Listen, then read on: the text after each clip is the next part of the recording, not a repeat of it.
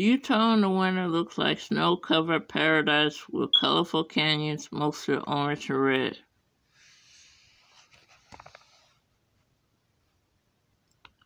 The canyons that Periwinkle Nate and the owner see took millions of years to form.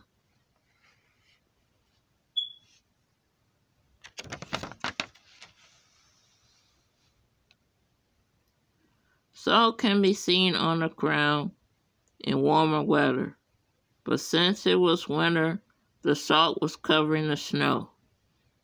The dried out snow on the ground means that it used to be a big salt lake.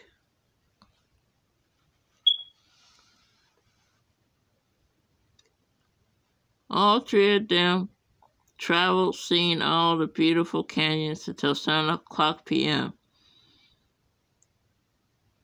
Then they went to spend the night at a hotel that allowed pets.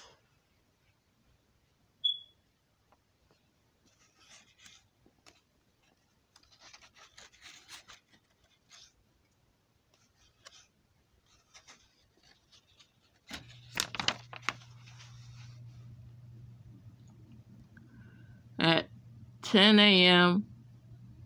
the next day, they checked out of the hotel to continue to further into their journey. When all three of them went back on the road, they had seen a deer that was stretching.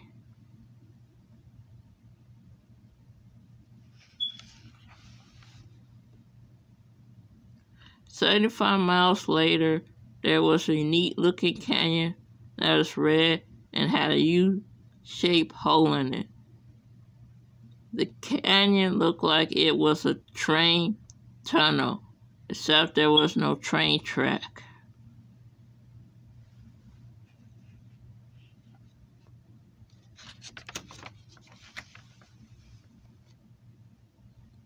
Hundred miles into their journey, their owner decided to stop at a gas station to take a break.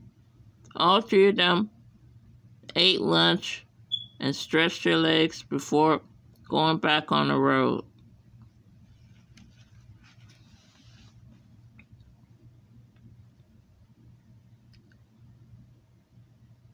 All through the afternoon, the views have been breathtaking with the snow-covered canyons and the frozen vegetation.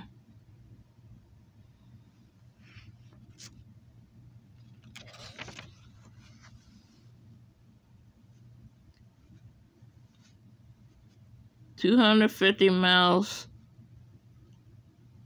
later, all three of them had made it to the California border. Nate Periwinkle and the owner at 20 miles to get to their oh, Oakdale home.